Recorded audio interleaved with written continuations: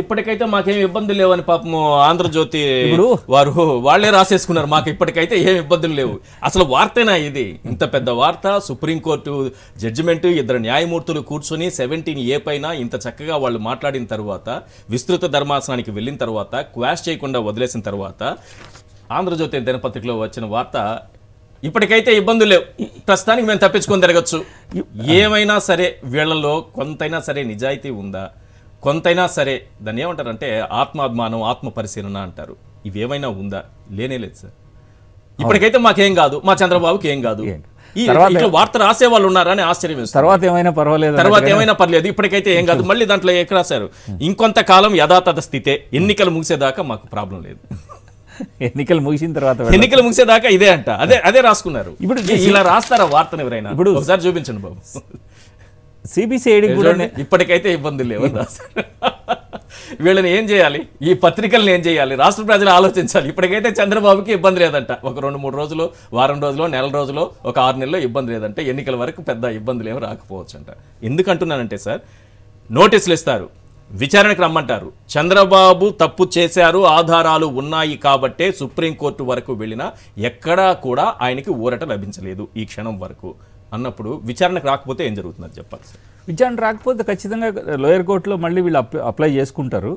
Apply చేసుకున్నప్పుడు court permission ఇస్తుంది మీరు విచారణకి రమ్మని చెప్పేసి వాళ్ళకి మళ్ళీ నోటీస్ ఇవ్వమంటుంది. కోర్టు నోటీస్ పంపిస్తారు. ఎంతకాలమైనా సాగదీస్తారు కదా చంద్రబాబు లాంటి వాళ్ళు అంత ఈజీ కాదు కదా సార్? ఇప్పుడు వ్యవస్థల్ని మేనేజ్ చేయడము మేనేజ్ చేయకపోవడం అనేది మామూలుగా జనాలందరికీ అంటే ప్రజలందరికీ తెలిసినటువంటి విషయం ఏంటంటే. ఇప్పటికీ మనకి ముప్పై ఏళ్ళు నలభై ఏళ్ళు సర్వీస్ ఉన్నప్పుడు వీళ్ళు అపాయింట్ చేసిన వాళ్ళు కానీ వీళ్ళ ద్వారా అపాయింట్ అయిన వాళ్ళు కానీ వీళ్ళ సానుభూతి పరులు కానీ ఇప్పుడు మనలాగానే అరవై ఏళ్ళు డెబ్బై ఏళ్ళు వచ్చి కొన్ని కొన్ని పోస్టులు రిటైర్ అయిపోయి ఉంటారు అన్ని వ్యవస్థల్లోనూ. ఇప్పుడు అంటే ఒక స్టేజ్ వచ్చింది. మ్యానిపులేటర్స్కి ఇప్పుడు విశ్రాంతి లభించిందా? మ్యానిపులేటర్స్కి కానీ వీళ్ళందరికీ కూడా విశ్రాంతి వచ్చేసింది. ఇప్పుడు వీళ్ళు వ్యవస్థల్లోకి చొప్పించినటువంటి వ్యక్తులు ఎవరు లేనప్పుడు ఏమవుతుందంటే న్యూట్రల్ మనుషులు ఉన్నప్పుడు న్యూట్రల్ మనుషులు న్యూట్రల్ గానే ఆలోచించి వాళ్ళకి మెరిట్లోనే ఆలోచిస్తారు కదా.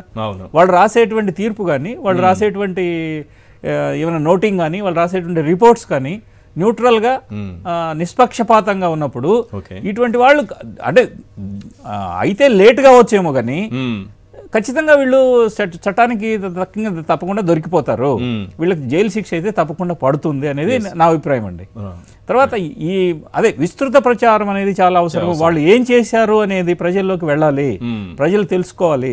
అందరూ ఏంటంటే ఈ పది రోజులు ఒక పది రోజులు ఇరవై రోజులు జరిగేటప్పటికి ఆ తర్వాత ఇది జరుగుతూనే ఉంటుందిలే ఇది అంతా మామూలే మ్మ్. మళ్ళీ నెక్స్ట్ నెక్స్ట్ మళ్ళీ ఇంకోటి ఏదో వస్తుంది అనే ఫీలింగ్ ప్రజల్లో రాకుండా.